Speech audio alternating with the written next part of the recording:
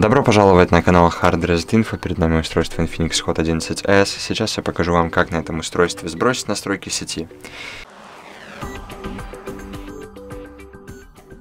Для начала мы открываем настройки, затем спускаемся вниз, выбираем система, параметры сброса и выбираем сбросить настройки Wi-Fi, сотовой связи и Bluetooth.